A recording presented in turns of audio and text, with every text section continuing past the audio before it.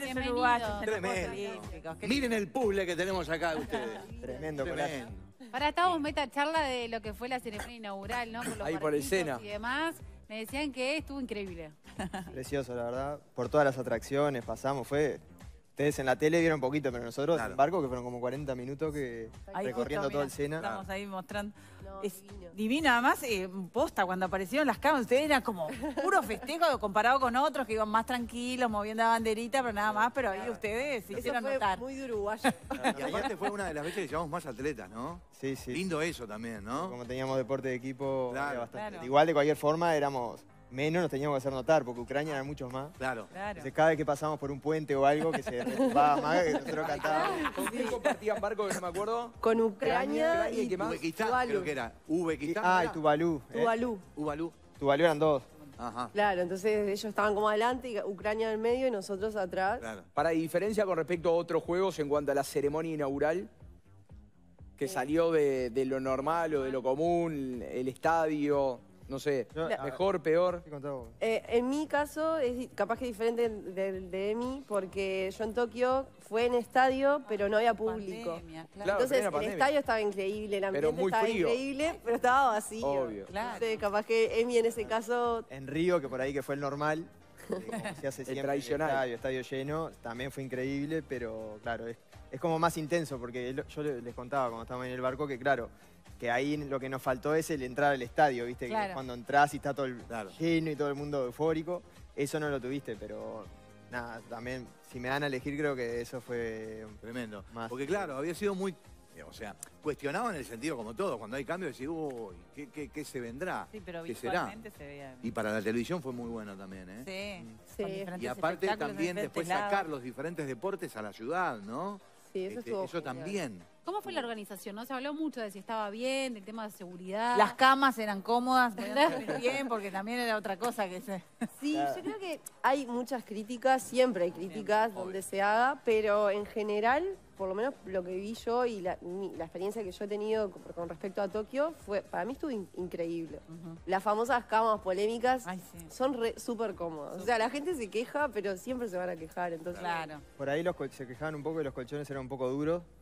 Eh, pero está, eso es van cada uno. A mí, yo qué sé, la mayoría de deportistas duermen en colchones bastante duros. Claro. Eh, pero tal, que duerme en un colchón blando sí te mata. Y la otra queja que escuché con respecto a la alimentación, que dependiendo a la hora que llegaras, ya no había comida o había que esperar mucho tiempo para que, Sí, para que se repusiera. Eso fue para mí lo, lo- lo más, eh, el punto más débil que tenía era eso, sí, que si ibas a las horas picos a comer, eh, había bastante fila y, y a veces poner no había carne, se acababa la Por carne. eso, y para un deportista la Lo que alimentación como- es base. Claro. Que en la ensalada lo que más como es lechuga y tomate, ponele, casi nunca había. Claro. Pero eso pasó siempre en nosotros también, porque ahora lo que pasa es que tenemos No. redes sociales, cada uno comunica cosas que de repente no nos enterábamos. A mí eso no, en mis experiencias nunca, ni Ah, no, panamericanos también que son comedores así grandes, tampoco faltan Tampoco. esas cosas. Además hay cosas que no pueden Era muy rico, eso Claro. sí, me parecía que la comida era muy rica, muy Ajá. sabrosa, que a veces, viste, cuando hacen grandes cantidades, Claro. deja Claro. de perder un poco así. ¿Y cómo es eh, estar en la, en la Villa Olímpica? ¿Cómo es la Villa Olímpica donde están todos ahí?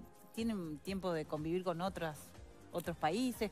¿Se reúnen con ellos o andan siempre con la delegación del país de ustedes? Eh, yo creo que en nuestro caso el atletismo históricamente siempre cierra los juegos, entonces creo que eso nos quita un poco Te días de poder parte. vivirlo eso de otra manera. Pero dentro de nuestra rutina del día a día, por ejemplo a mí, de estar en, en un lugar, o sea, con, la Villa Olímpica es como una mini ciudad Claro. donde convivís con miles de atletas. A mí me pasó de que me, me senté un día a desayunar y a dos metros tenía Kipchoge eh, a también desayunando ahí y era como, esas son esas cosas que vos decís, ves, Claro. ves atletas de nivel Sí, mundial capaz. Que están en la misma que ah, vos. todos que están. Sí, Sí, sí, sí. sí, sí.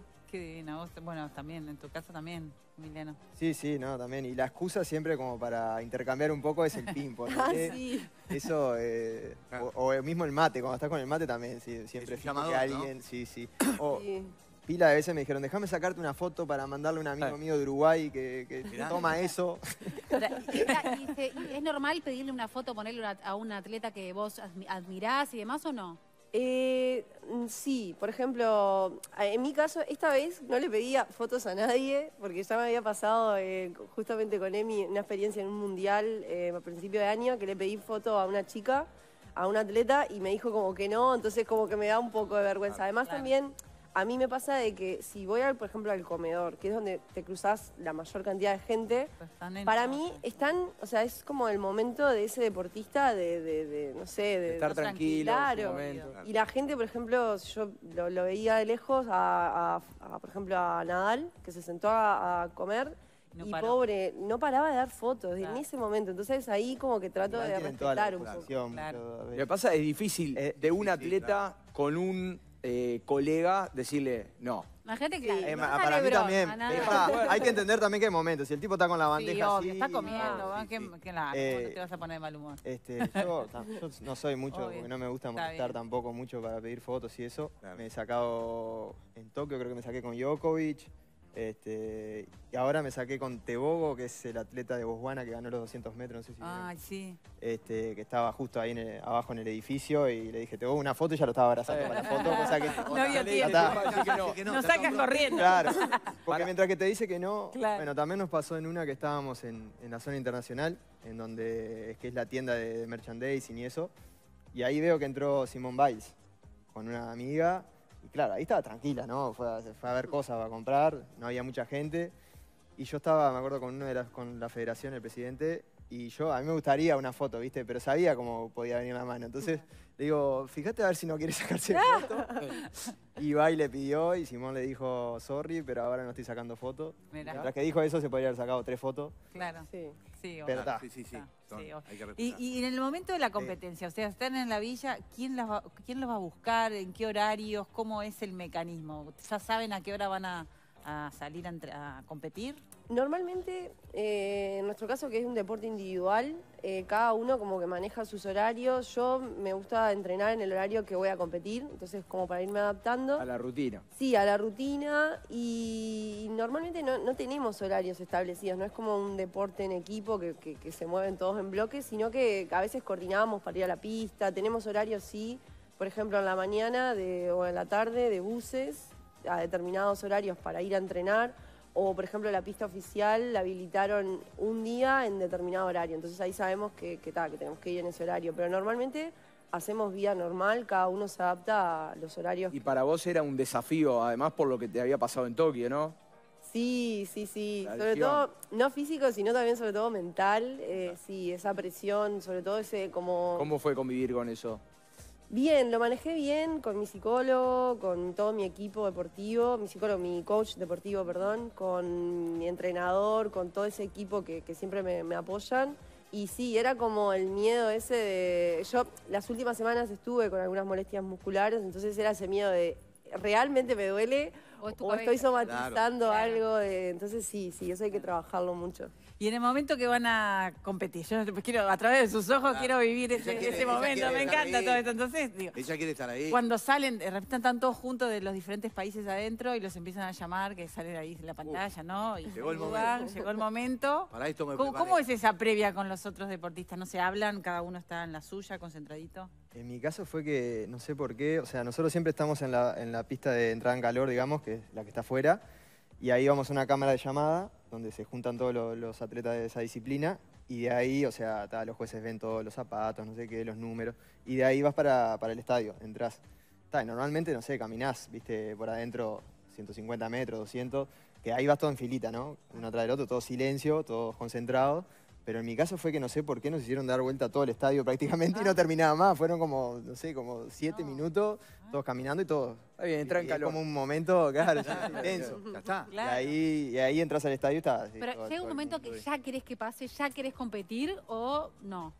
Sí, ahí bastante. Por Sí. eso yo ahí te digo, o sea, Sí. me daba cuenta que era mucho tiempo. Ya estaba ansioso, viste, por, por, Claro. por entrar y, y poder ¿Es empezar. una, una presión extra el hecho de haber sido abanderado en el desfile inaugural o no? Yo, Para la yo no me lo tomé no lo como una así? presión, sí, o sea, para mí fue un honor y, Obvio. y, y me encantó. Este, nada, lo tomo como eso, pero sí, obviamente siempre es, eh, Es una responsabilidad. presión, una responsabilidad representar a Uruguay, ser el abanderado. Claro. obviamente. Claro. ¿Y cómo fue el cierre, la clausura, la noche de la... eh, ¿Estaban los dos o...? Sí, ¿Sí? sí, sí, sí. ¿Y? Eh, estuvo divino. Ahí sí vivimos como esa otra parte de entrar al estadio. El estadio justamente del cierre, por lo general es el de atletismo. Estaba lleno Sí, de sí, gente. ya, ya en modo disfrute. Sí, Claro. porque Sí, ya está, ya pasó. a mí Claro. pasó que, que cuando entré a competir los dos días, fue como que entrás, mirás todo eso, 80.000 personas en ese estadio, pero eh, tenés como, enseguida como que le quitas el foco a eso Claro. y te pones con la- el Sí, foco en como si tuvieran competir. mute, ¿no? Claro. Es parte sí, sí. de, de Claro. la competencia y está. Claro, pero ya hacerlo, la ceremonia de clausura, con toda la delegación, con todos tus compañeros, ya es totalmente diferente, porque entras también como en otro modo. No, y el Claro. resto de los deportistas también, porque uno a veces piensa, pa, la villa, están todos los deportistas y qué se hace. Sí, sí, pero No, está- están todos enfocados. Claro. Después de competir, bueno, ahí se ve un poco más distendido, yo qué sé, lo que...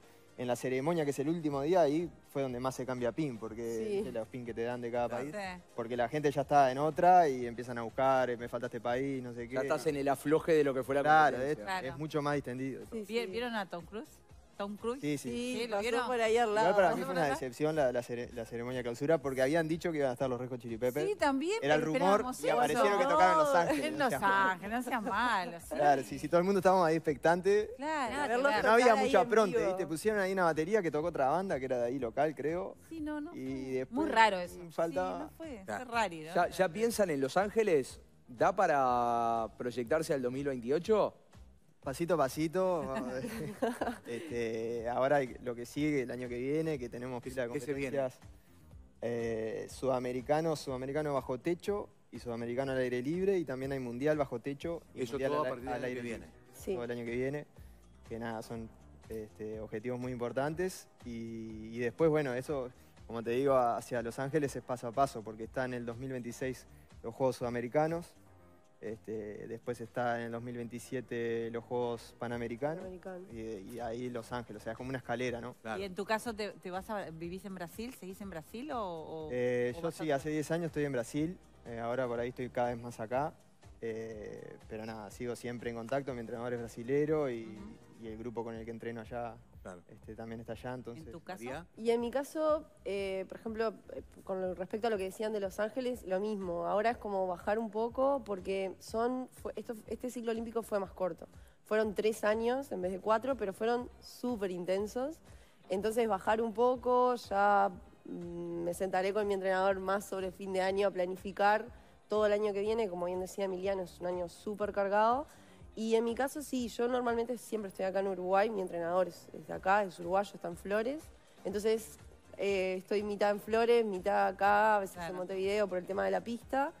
Y también mm, lo que hago, por ejemplo, en, en temporada de competiciones, de- desde mayo hasta julio, agosto, eh, via- siempre viajo a España. Que, como yo digo, es como mi segundo hogar claro. por un tema de bueno infraestructura deportiva, de competencias, de, de- nada, de- Claro. de, so- de clima también. ¿Y tienen algún trabajo paralelo? ¿Tienen algo que hacen además de lo deportivo o están enfocados solo en lo deportivo? Yo eh, de momento estoy enfocada en lo deportivo. Eh, ahora, eh, estos meses me quiero enfocar un poco a, a entregar la monografía, la tesis. Yo estudié fisioterapia. Es algo que a veces cuando estoy acá me gusta hacer. Eh, a veces eh, yo hice la práctica deportiva en un centro, de- en, el, en el CDEC, en el centro de deportes. Entonces, entonces me puse como en contacto, trabajé con muchos deportistas y cuando estoy acá a veces me llaman por alguna consulta y eso. Y lo hago porque me siento que es otra actividad que me llena mucho y que me saca un poco del Claro. estar todo el día entrenando. Entonces sí, cuando estoy acá a veces aprovecho a trabajar un poco, pero claro, cuanto más cerca están los Juegos Olímpicos o las competencias importantes, es muy difícil porque Por la carga horaria, Claro. por la concentración, por todo. tal cual. Emiliano, ¿en tu caso? Y en mi caso también es parecido porque hoy por hoy me dedico al deporte, este, pero también hice la licenciatura de Educación Física. Hace años terminé, egresé digamos en el 2013, que fue cuando me fui a Brasil.